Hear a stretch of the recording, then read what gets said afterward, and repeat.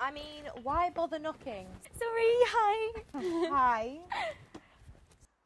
So, what's this big news? I think I found the perfect guy. Really? Who? Harry? Harry.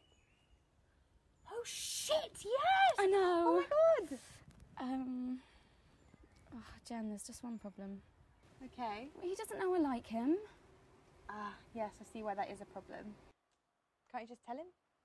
I don't know how to. I'm so awkward, Jen. just walk up to him and tell him how you feel. Okay.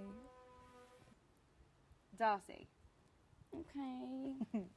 Darcy Jane Rowe. I don't know what to say. I don't know. Haven't you practiced in front of the mirror or anything? No.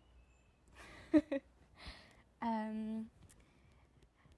Let's pretend you're him, and I'll practice on you. No, no way. No, no. Jen, please.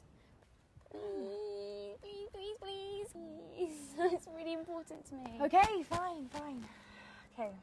I don't know, just Sit you know what he's like around school. Just, Like that? just yeah, like chill. Yeah, just Okay. yeah. Hey, baby, how you doing? Don't laugh at me. I'm trying to help you. Sorry, sorry.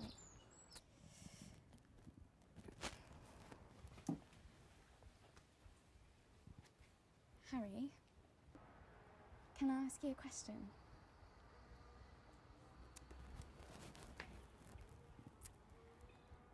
I think you're the most gorgeous guy I've ever met, and I literally can't stop thinking about you.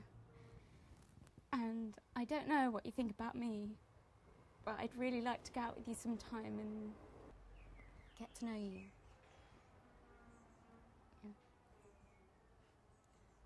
Do you know how long I've been waiting for you to say those sweet, sweet words?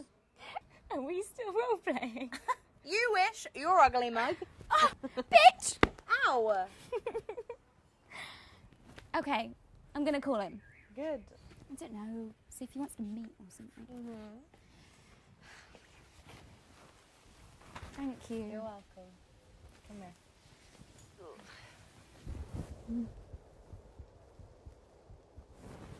Love you. And you. Go get him, Tiger. Wish me luck! you go, girl.